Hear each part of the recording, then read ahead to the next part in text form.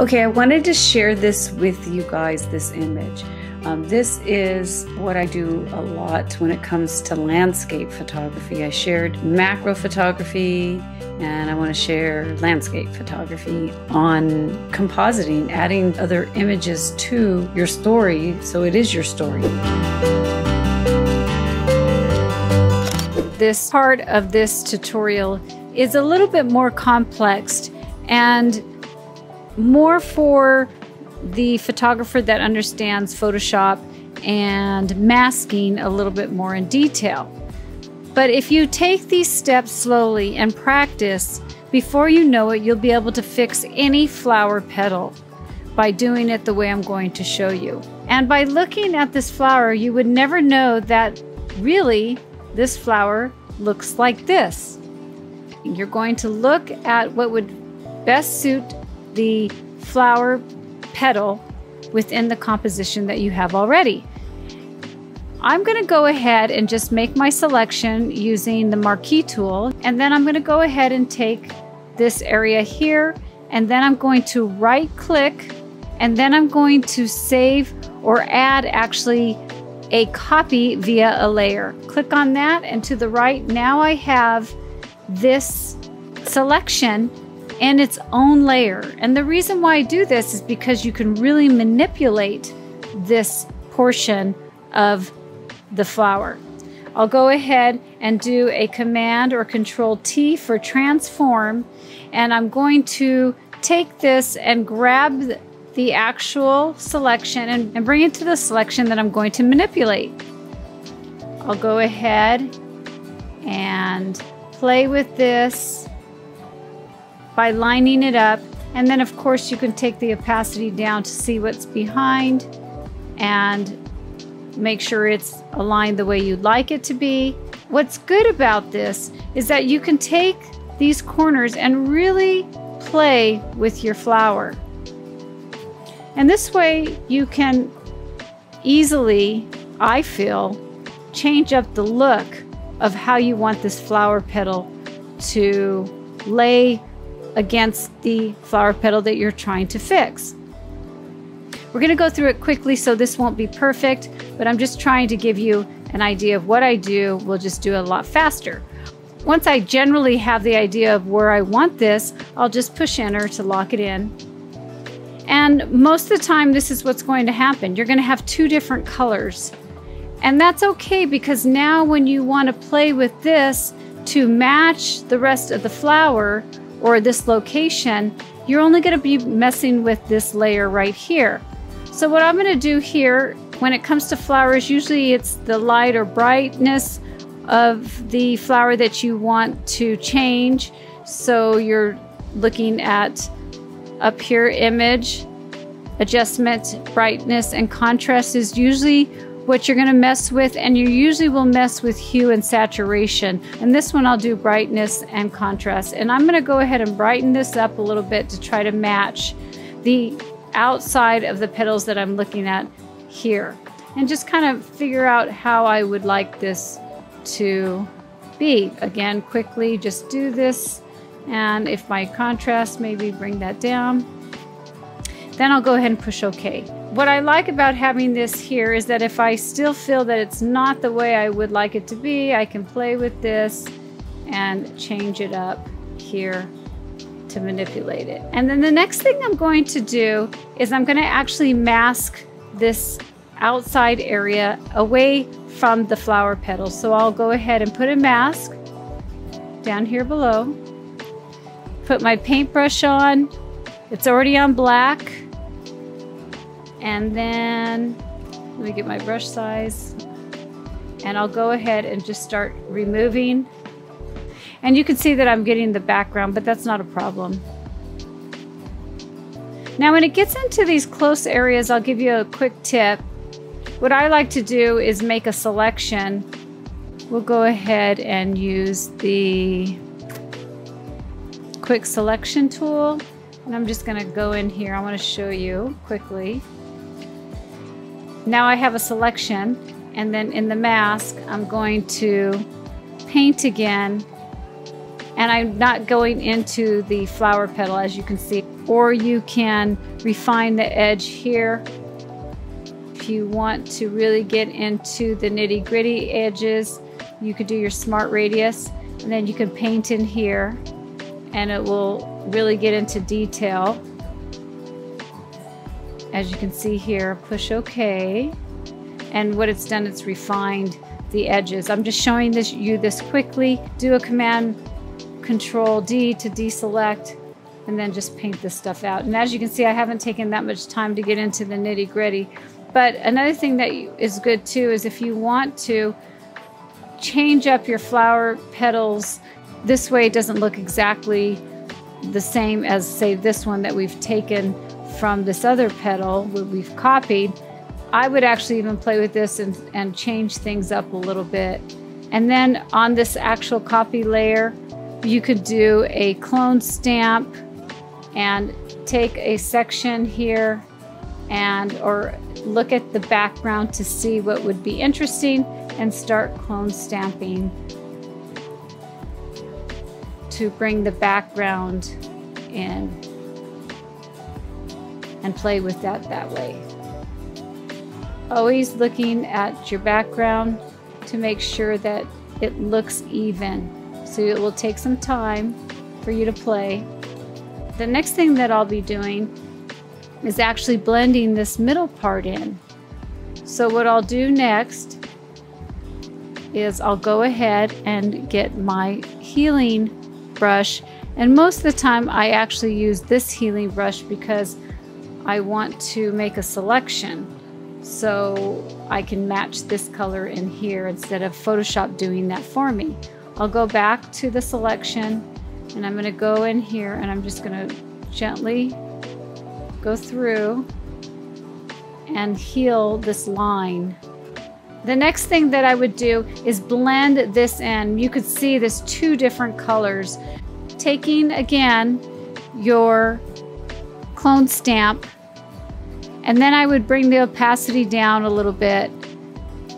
And then you want to go ahead and just have a soft brush and then just merge this together loosely. Always look at the flowers and to see how it's flowing so it looks natural to the rest of the image.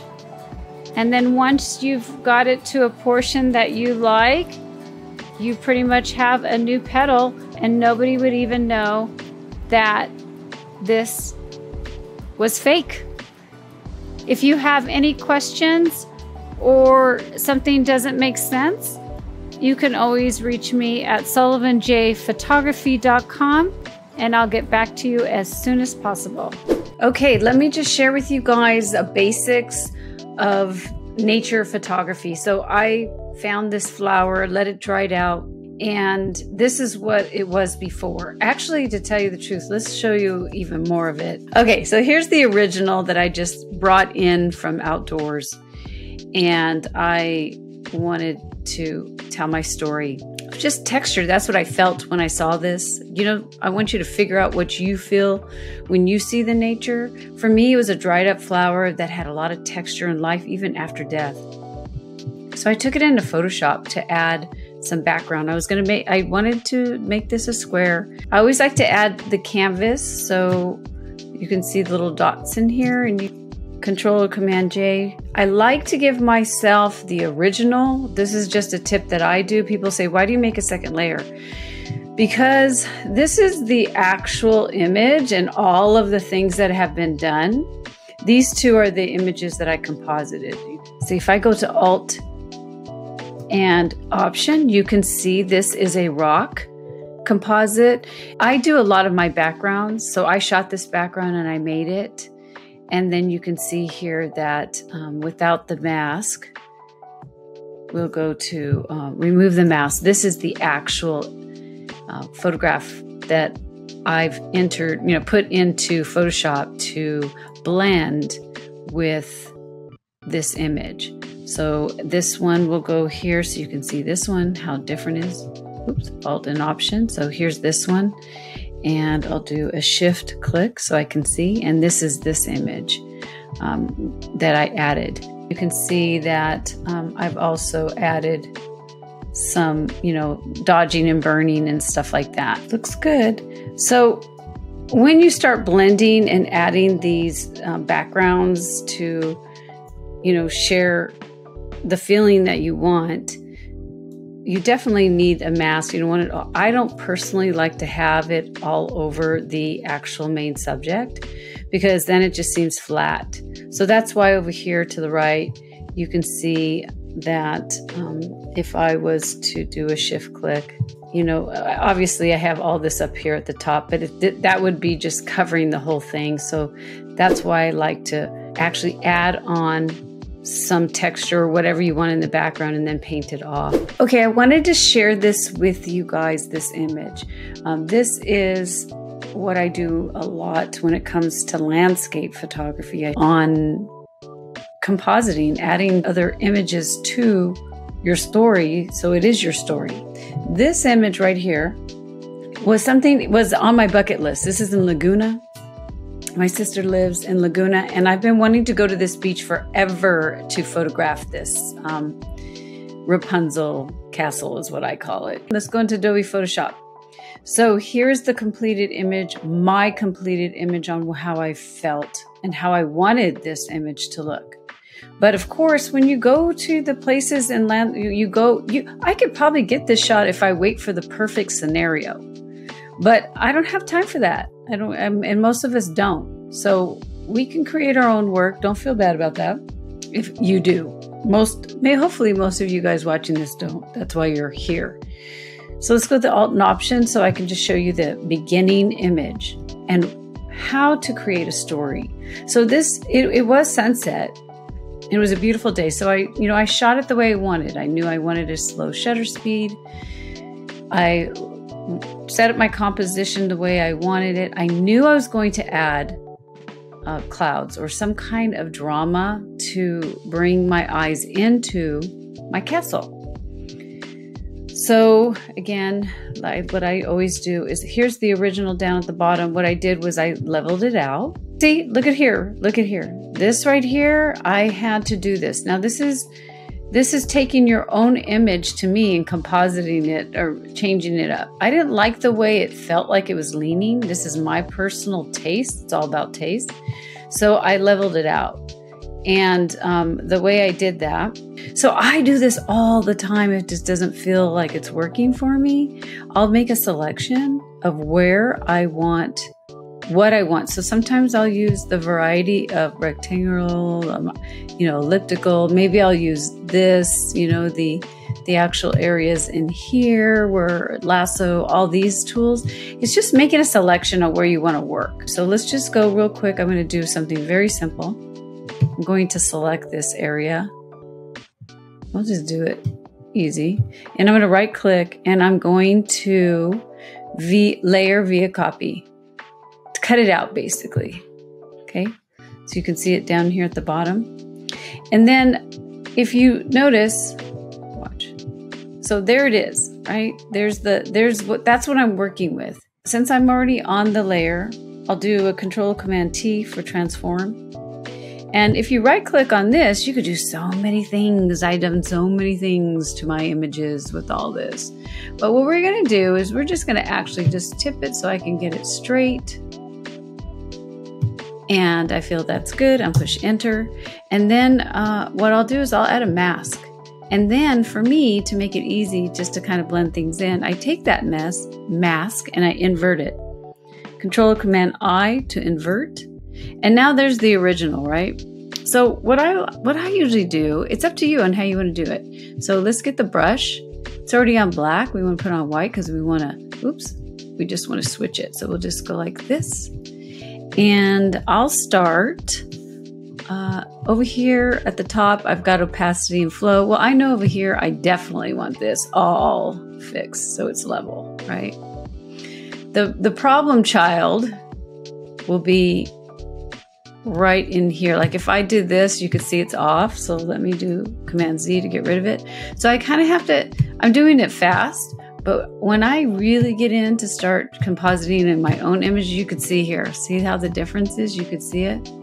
Look, See how that's different? So I have to take my time and start blending out and blending in. So I use the X a lot. See this X, how it changes it back and forth, back and forth, over here to the right? You know, I'll play and figure it out here. How can I get this to work? So you can see here, this is the um, before and after. Well, you'll see I, I actually clean things up and move things around and make sure that like right in here I, I'm, I'm, seeing this now. I need to fix that. Unless i fixed it over here let's see. No i didn't. Ooh see? Look look at this line. And i'm just realizing that i did not do that. Ooh, so glad i had i'm hanging out with you guys normally what i would do is shoot my skies i'll share with you an image at, um, that we can talk about afterwards that i an example of what I did do. I'll shoot my skies and then I actually blend them in and tone it. But what I love is the sky replacement now. Whew, that thing rocks. Let's get this off. So here's the sky replacement. And what's nice about the sky replacement nowadays in Photoshop is that they give you not only the, you could pick the actual uh, background that you want, and I'll show you where to get to it. But you can also um, go in and play with the mask and you can play with the you know your blending modes if you want there's so much options you can this is what i love about it because what photoshop has done now is you pick what you want in the background and it has the algorithms to be able to manipulate the rest of the image to make the color feel right. Back in the days they didn't have this and you could have this nice and warm and this is all very cold looking. It doesn't look real i do have to say though as you're compositing please pay attention to your shadows and where the light is hitting i'm sure you've heard this many times on this, these shows but it is really important to make it look real we're we're doing compositing to make it real to for our nature stories sky replacement i love it one thing I have to say is I'm a ON1 girl too. I do on I photograph. Uh, I use ON1 a lot, and they've already had that in ON1. So I think Photoshop kind of stole it from ON1. Just saying. okay, so anyways, you go over here and you can see the skies. You can have blue skies and it pops it in for you so easy. Oh my gosh, this has made it wonderful. But what I want you to really think about is what are you this may look cool but is it really telling your story? I don't think so because it's a blue against the you know the the golden hour is what was happening. So you know you should really photograph your own and you could put it in this sky replacement area. This is my sky. It was a in joshua tree national park. It was crazy. But how cool is that right? Let's just play with that real quick. We'll say okay here's the sky. So um, let's go to this layer. I'm going to do a Command T to transform. And look, I could do whatever I want. Oh my gosh. I mean, I could do it like that. Bam. I mean, it's just so much fun. But it's still compositing, it's still going in. You still really need to, you know, just go in and I, you know, this one didn't, wasn't the feel that I wanted, obviously but um, it's really a wonderful tool. So I want to recommend you guys compositing your backgrounds or foregrounds or whatever you want. This is the sky replacement, but it's really, it works really well. So let's, I'm not going to save any of this, but I wanted to share with you that I do this all the time. I composite foregrounds. I can, I may change this and put a new tree in there, but I do use it in the layers and I really make sure that it is part of the story that I'm trying to relate to myself and to express to others. Okay. Have a great day and have fun. Cheers.